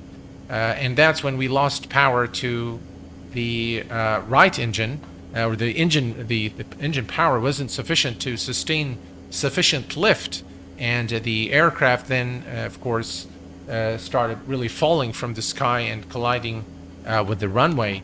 So but for completeness sake let's go ahead and do the replay and I think we're gonna do it from here. And this is exactly let's take a look at the outside. As you can see here the engine wasn't running we've lost the left engine completely. And now watch what happens as we came into land. We're doing just fine. And, uh, you know, the emergency landing was uh, going as planned. Here, as you can see, again, I had to do a lot of rudder to compensate for the lost engine. And this moment here is when I went to, uh, this is where I, the, the power has gone to and this is obviously a very hard landing. Probably the aircraft would have crashed uh, right where it stopped. And there, this is again. yeah, so let's let's take a look one more time.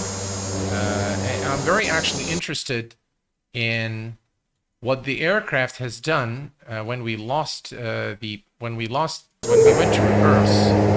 So as as you can see here, with the engine, the left engine completely gone, now we needed you to investigate and make an episode. Absolutely, yeah.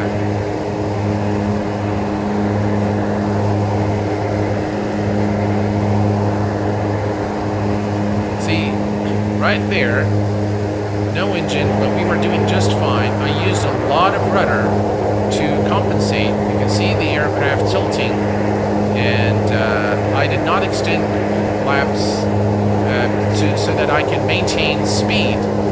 And now the aircraft is doing okay until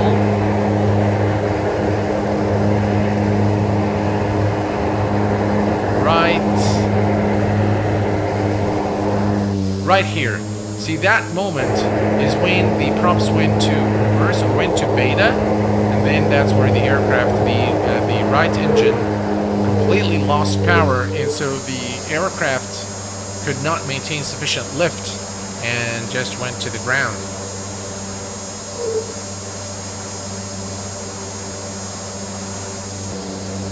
Yeah. Let's do it one more time from the uh, airport perspective. All right, here we go.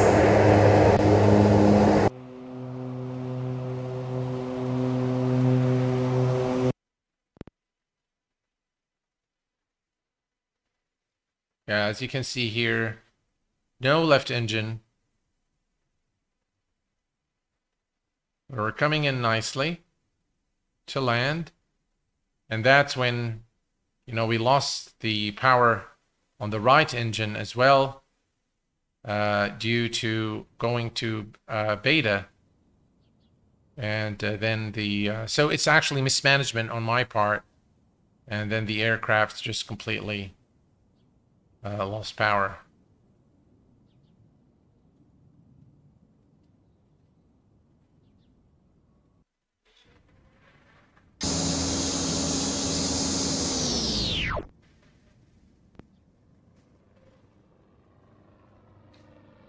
Well, folks, uh, this is uh, pretty much brings us to the uh, conclusion of this uh, review uh, stream of uh, the Mitsubishi MU2 version 2 by Toga Simulations. And uh, uh, no, no, it's not a beta, Rand. Uh, the aircraft is fully released. beta, I brought the throttle to beta. but no, no, the aircraft is is fully released right now. Couldn't lift the wing with the dead engine. Exactly, exactly. The problem is really we've had one engine completely dead and the other engine went to beta reverse and uh, it, it, completely lost power. So and, and it's a heavy aircraft. so uh, for for and we were flying with a lot of fuel today, so just almost full fuel in all tanks. So it was uh, probably uh, there was a lot of fuel in the aircraft as we came into land. so, um, but all in all, folks, uh, this aircraft is uh, is definitely one that I would recommend for X-Plane 11. It's a free upgrade to X-Plane 12. It's got excellent simulation of the actual Mitsubishi MU2. It flies really, really nice. I love hand flying this aircraft. There's a lot more for me to learn about this aircraft, and I promise you that we will see a lot more, uh, a lot more uh, of this aircraft uh, in the future. Uh, it's definitely a recommended buy from my side. Uh, it, you will definitely enjoy it. I will tell you, you will not regret purchasing this aircraft. And maybe in the next stream of this aircraft, I will do a giveaway. And um, you know what? I'm going to give two copies of the Mitsubishi MU2 to the channel members. And I'm going to give it to, uh, also, I'm going to give a free copy to someone that I'm going to announce in the next stream. Uh, but tomorrow, be sure to join in tomorrow because tomorrow we're going to have the first look at the modified steam gauges for the Cessna Caravan for Microsoft Flight Simulator. I am going to go and study the material now, and hopefully I'll be able to put in a show for you guys tomorrow. We're going to take a look at those custom gauges by Black Square, uh, the makers of the taxi signs add-on for Microsoft Flight Simulator. So they have now a new add-on for revamping all the gauges of the default aircraft in Microsoft Flight Simulator, beginning with the Cessna Caravan, which we'll be taking a look tomorrow. On landing, uh, would go around have made any difference? Uh, Vivek, no. In in this specific case, uh, there was no possibility of a go around. It was one shot at landing the aircraft because we have a failed engine. Uh, so this is something that you really can't uh, you can't really do. And uh, this is where I think um, you know real pilot training and would kick in. Uh, um, of course, this is probably the second time I fly this aircraft, so I definitely need to learn a lot about the throttle control and power management of this aircraft, and what what do we need to do in abnormal uh, situations. So obviously there is a, a checklist that we need to follow I don't have the abnormal checklist with me. I don't think it's there. So, um, so basically, I think it's it's in the roadmap to include it in the next update. Uh, as as far as I can remember, maybe my if my record, you know, my memory serves me well. Uh, but all in all, I thoroughly enjoyed the stream. I thoroughly enjoyed the interaction with you guys, and I want to thank you very much for being with me this evening. Until next time, please take care of yourselves and each other, and I will see you all tomorrow evening. Stay safe, and bye bye for now.